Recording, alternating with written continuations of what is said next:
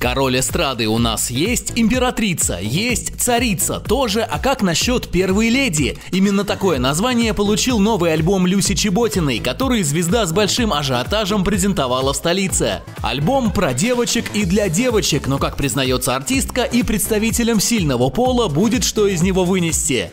Девочки настолько ранимые, настолько принимают все близко к сердцу и проживают даже ваши мальчики пустяковую фразу, они пропускают, и потом накапливаются комплексы. Поэтому, мальчики, пожалуйста, цените нас, девчонок.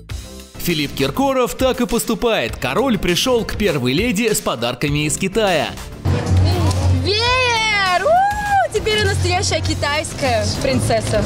Ты сама говорила, что веер это знаки. Да. Идите отсюда.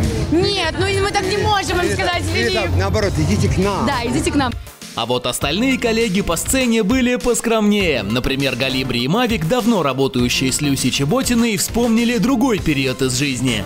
Прошли без денежья, когда Люся мне занимала тысячу рублей, я ей занимал тысячу рублей. Серьезно? Это было, это было, это был там 16-17 год. Отдала?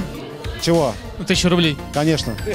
Так же, как и я. Поэтому Я не буду раскрывать всех ее секретов, захочет расскажет сама, но она вкладывает э, заработанные средства не просто в одежду, в новый материал, там, да, она серьезно готовится К чему? к чему? К жизни, к жизни. Ну а на презентации альбома Люся Чеботина устроила благотворительный аукцион картин по песням с нового альбома в помощь нуждающимся детям. Филипп Киркоров, например, отметился на нем покупкой картины за 700 тысяч. В общем, Люся Чеботина на своем вечере совместила приятное с полезным.